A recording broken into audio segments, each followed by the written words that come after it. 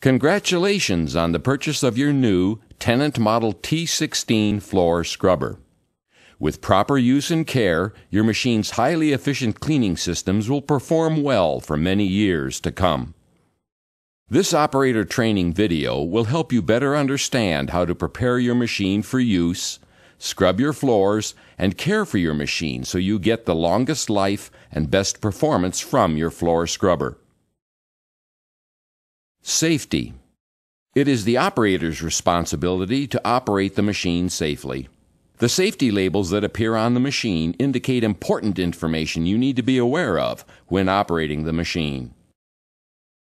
How the scrubbing systems work. Your machine can effectively scrub dirty floors.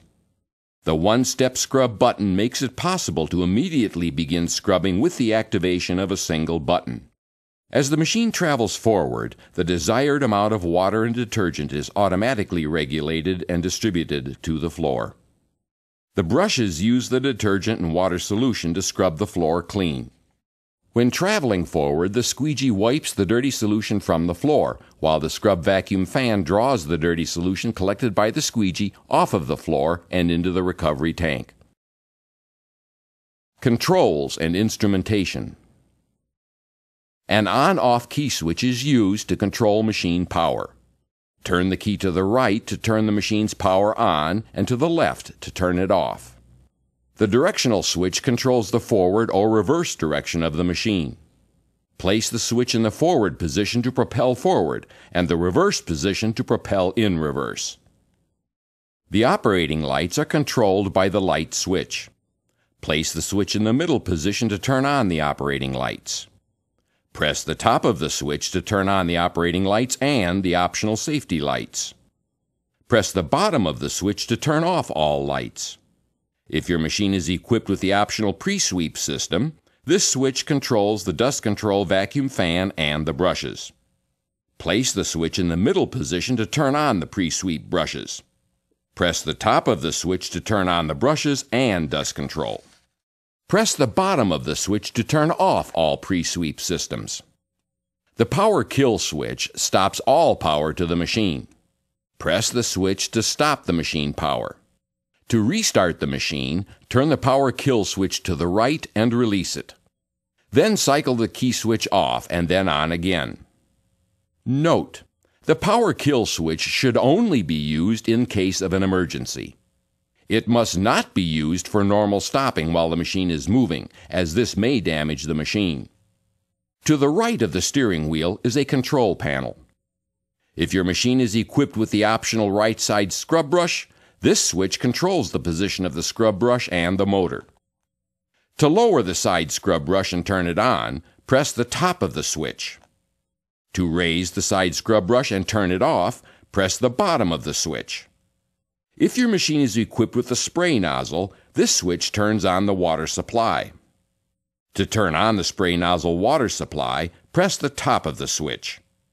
Next, pull the spray nozzle from the back of the machine and clean as required. When you are finished cleaning, turn off the spray nozzle by pressing the bottom of the switch and then gently tug the spray nozzle hose and allow the hose to retract into the machine. The steering wheel controls the machine travel path. Most of the scrubbing functions are controlled by the operator using the control module in the center of the steering wheel. The horn is controlled by a half ring button at the top of the control module. Pressing anywhere on the button will sound the horn. In the center, below the horn ring, is a warning indicator. In certain conditions, the warning indicator will turn on and a message that describes the condition will be displayed in the window below the indicator. You may be required to stop the machine and follow your company's service procedure guidelines to correct the condition. This display window is also used to indicate the battery charge level, hour meter reading, the solution level, and the recovery tank level. The battery discharge indicator displays the charge level of the batteries while the machine is operating. When the batteries are fully charged, all five bars are lit. Recharge the batteries when there are no longer any bars showing in the display. The hour meter records the hours the machine has been operated. Use this information to determine machine service intervals. The solution tank indicator displays the amount of liquid in the solution tank. Refill the solution tank when there are no longer any bars shown in the display. The recovery tank indicator displays the percentage of liquid in the recovery tank. Empty the recovery tank when the indicator reaches 100%. The display contrast can be easily adjusted. Each time the contrast button is pressed and released, the contrast will darken in the LCD display. Once the display reaches the darkest setting, pressing and releasing the button again will increase the display to the brightest setting. The Supervisor Control button is used to access the configuration and diagnostic modes. Only properly trained service personnel should access these modes. The large green button in the center of the control module is the one-step scrub button. Pressing this button turns on all scrubbing systems that were active the last time the machine was used. Note, there may be a short delay before all scrubbing systems are activated and the indicator light turns on. Pressing the button again turns off all scrubbing systems. When the one-step button is pressed to stop scrubbing, the machine remembers which scrub settings were active. When the one step button is pressed to start scrubbing again, the machine will return to those settings. To allow the cleaning solution to remain on the floor and improve your cleaning results, you can raise the rear squeegee and turn off the vacuum fan by pressing the squeegee button. Pressing the squeegee button again will lower the squeegee to the working position and turn on the vacuum fan so you can recover the solution. While scrubbing, the brush pressure and the solution flow rate should be adjusted to provide the desired cleaning results. When only the bottom brush pressure LED is lit, the brush pressure is set to the lowest setting. To increase the brush pressure, press and release the button to move to the next higher setting. The solution flow rate is adjusted with the solution decrease minus button and the solution increase plus button at the bottom of the control module. Under normal cleaning conditions, the brush pressure and solution flow rate should be set to the minimum settings required to clean the floor. Note, travel speed and floor conditions will also affect cleaning performance. When the one-step button is pressed to stop scrubbing, the machine remembers the active settings. When the one-step button is pressed to start scrubbing again, the machine returns to those settings. The Scrub Mode button controls optional scrubbing solution systems, including the Extended Scrub System, or ES, Foam Scrubbing Technology, or FAST, and Electrically Converted Water, or ECH2O. With this button inactive, the machine operates in conventional mode. On the lower left and lower right portions of the control module are buttons that turn the water flow on and off. When approaching a turn while scrubbing, the solution flow should be turned off and then back on again when exiting the turn. The machine's propel speed is controlled by a foot pedal. Press down on the pedal to increase propel speed and release the pedal to decrease speed. The brake pedal slows and stops the machine. Depress the brake pedal to stop the machine. When the machine comes to a stop, the parking brake automatically turns on. When you press the propel pedal again, it releases. Prior to operating the machine, there are checks that need to be completed to make sure your machine is ready to clean. Check the battery charge level. Check the operating lights. Check the right side squeegee for wear and damage. Check the left side squeegee for wear and damage. Check brushes for wear and damage. Remove any wire, string, or twine that may have become wrapped around the scrub brushes. Check the rear squeegees for wear and damage. Check the solution recovery tank cover seals for wear or damage.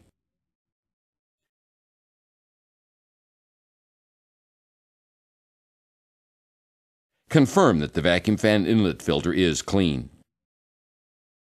Then remove the debris tray, empty it, and wash it out.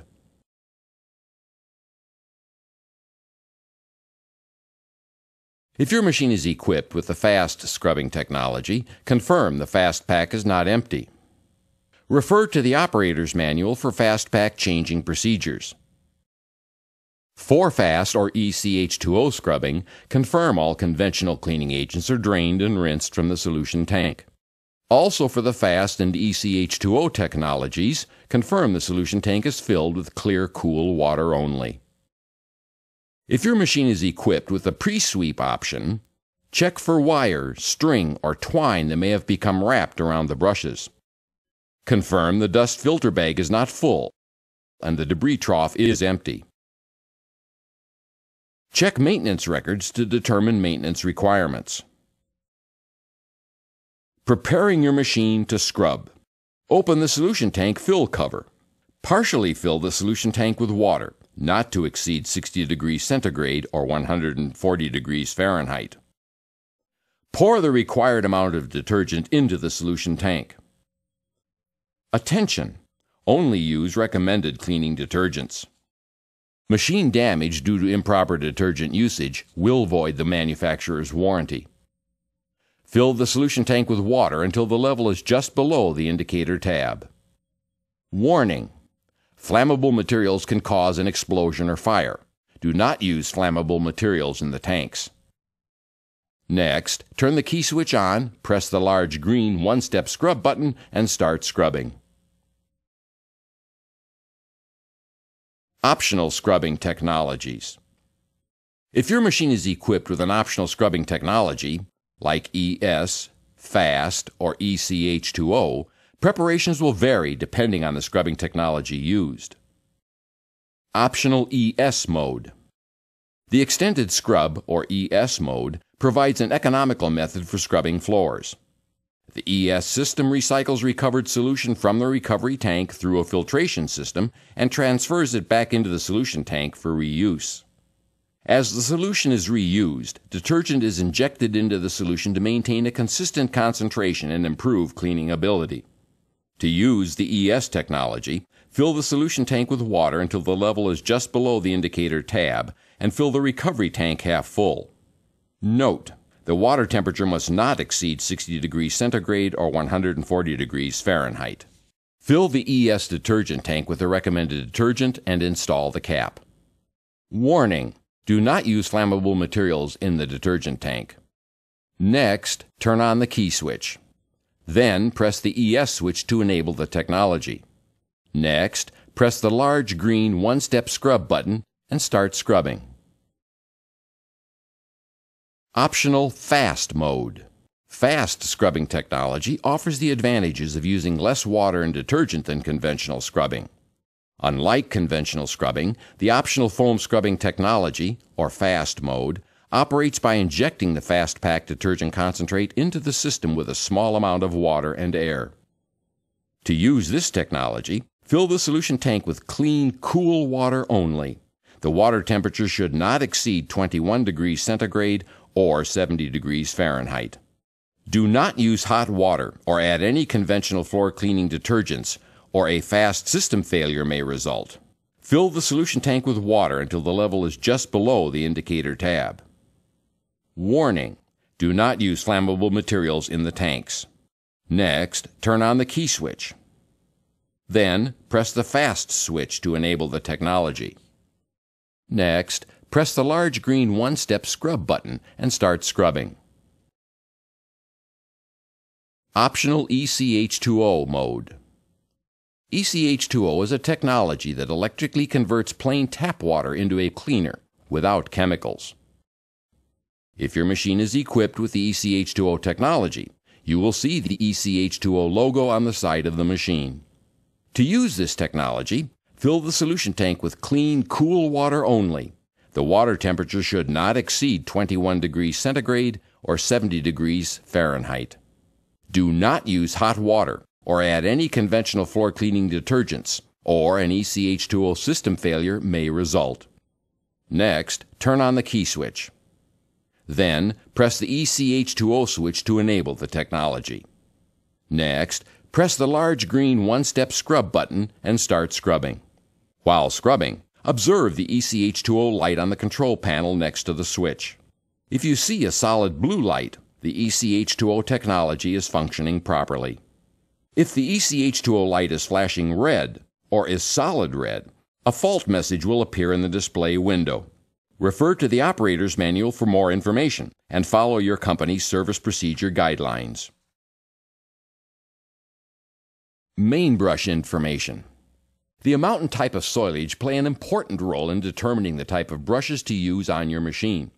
For best results, use the correct brush or pad type for your cleaning application. Brush and pad application guidance is located in the operator's manual. Part numbers are located in the parts manual. When the brushes need replacing, always replace them in sets. To replace the disc brushes or pads, first raise the scrub head and turn off the key. Next, pull out and up on the squeegee mount assembly latch lever. Turn the lever counterclockwise and pull out on the assembly. Turn the brush until you can see the brush spring clip. Press the spring clip together with your thumb and index finger. The brush will drop off the brush drive hub. When using pads, attach the pad to the pad driver and secure the pad with the center lock before installing the pad driver on the machine. To install the pad driver or brush on your machine, align it with the motor hub and push it upward until it is engaged.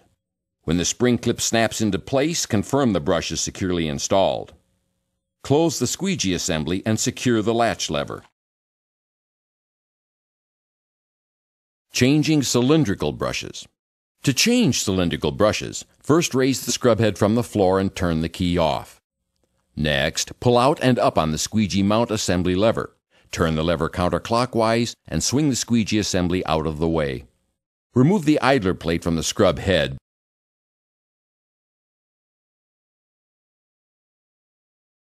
Remove the brush from the scrub head by pulling outward on the brush. Slide the brush onto the drive plug on the scrub head and secure the idler plate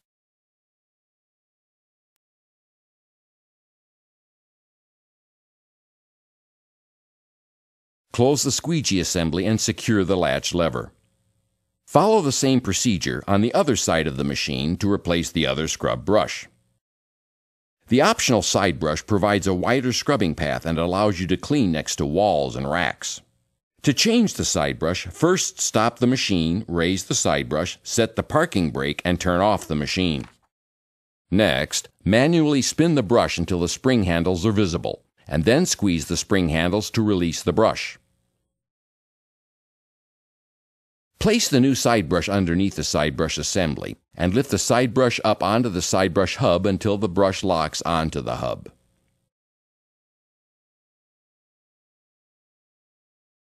Rotating or changing the rear squeegees. When the blades become worn, simply rotate them end for end or top to bottom to use a new wiping edge.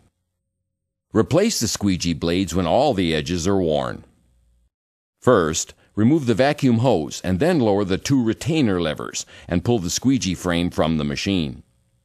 Next, loosen the squeegee band latch and remove the band from the assembly. While holding the rubber grommets away from the frame, slide the inside squeegee frame away from the outer frame. Install the new front squeegee blade or rotate the existing blade to a new edge.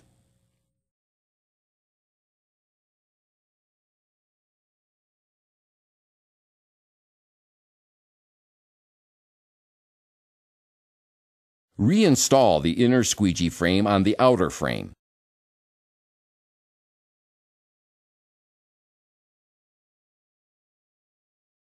Install the rotated or new rear squeegee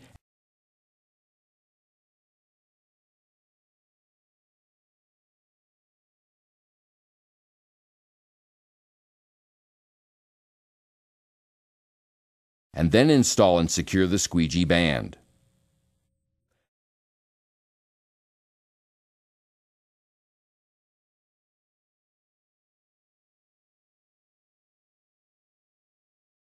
Next, install the squeegee frame on the machine and reattach the vacuum hose. Changing the side squeegees. With the machine stopped on a level surface, turn off the machine. Unlatch the side squeegee retaining band. Remove the retaining band from the side squeegee assembly. Pull the old squeegee from the squeegee frame assembly and rotate it to an unworn edge, or replace it when all four edges are worn. Reinstall the side squeegee retaining band by hooking the front of the band on the front of the side squeegee frame. Then, place it on the side squeegee and secure the retaining latch. Changing the side brush squeegee. For better access to the side brush squeegee, Start the scrubbing systems with the side brush activated. After the side brush is extended, turn off the key. Release the squeegee band latch and swing the band outward. This provides access to the squeegees in the backup strip.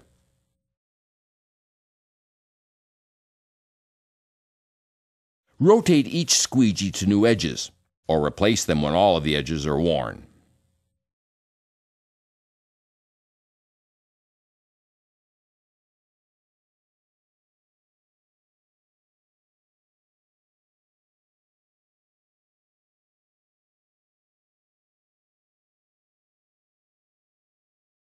Reinstall the band and secure the latch.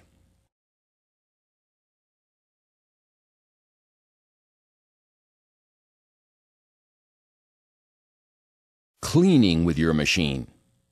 Before scrubbing with your machine, manually pick up oversized debris, wire, string, twine, or any other debris that could become wrapped around or tangled in the brushes. Press the one step scrub button to start scrubbing. If necessary, set the scrub mode and settings for the area being cleaned. Press the propel pedal to begin scrubbing. For safety, drive slowly on inclines and slippery surfaces. When operating in reverse, the rear squeegee will raise to prevent damaging the squeegee. When traveling in forward again, all scrubbing systems will turn back on. To stop the machine, release the propel pedal and press the brake pedal. As the machine stops, the scrubbing systems will stop. They will begin again when you resume propelling. To stop scrubbing, press the one step scrub button. The light next to the one step scrub button will go off and all scrubbing functions will stop after a short delay. When your cleaning is finished, the machine needs to be emptied and cleaned. For safety, before leaving or servicing the machine, stop on a level surface and turn the machine off. Place the recovery tank drain hose next to a floor drain. The drain hose has an adjustable flow drain cuff to manage the flow rate during draining. By slowly turning the drain cuff to the first notch, the flow rate is controlled to reduce splashing. Continuing to rotate the drain cuff will increase the flow rate. Removing the cuff will allow full flow. Lift the recovery tank cover and secure the cover brace. Then remove the debris tray, empty it, and wash it out.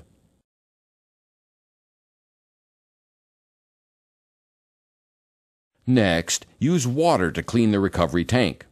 While rinsing the recovery tank, also rinse off the float sensors.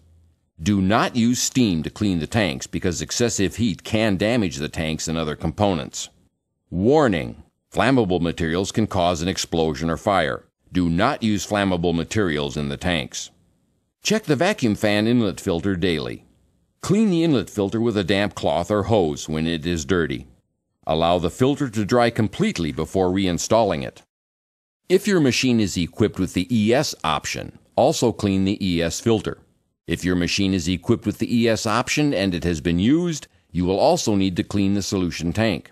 The solution tank drain hose manages solution flow rate with the same type of drain cuff as the one used on the recovery tank hose. Clean the solution tank with water. Once the machine is clean, close the drain cuffs and hook the hoses onto the machine.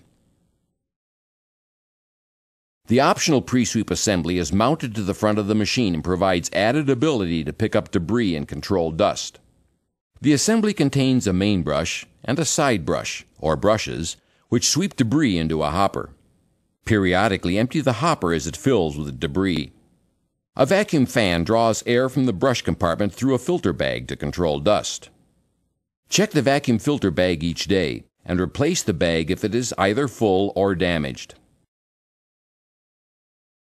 Charging the batteries. To prolong the life of the batteries, recharge them only if the machine was used for a total of 30 minutes or more. Do not leave batteries discharged for lengthy periods. To charge the batteries, first transport the machine to a well ventilated area. Park the machine on a flat, dry surface. Turn the key off. Some batteries are sealed and do not require any maintenance. On this type of battery, the caps should not be removed. If you are charging wet batteries, lead acid batteries, the fluid level should be checked before charging the batteries. The fluid should be at the level shown. If the battery fluid level is too low, damage to the battery will result. If the battery fluid level is too high, the fluid may overflow while charging. Warning Fire or explosion hazard. Batteries emit hydrogen gas. Keep sparks and open flame away. If your machine is equipped with an off-board charger, you will need to connect the charger's DC cord to the machine's battery receptacle. If your machine is equipped with either the onboard or off-board charger, the next step is to plug the charger's AC power cord into a properly grounded receptacle. The supplied charger will automatically begin charging and shut off when fully charged. Attention! Do not disconnect the charger's DC cord from the machine's receptacle when the charger is operating because arcing may result.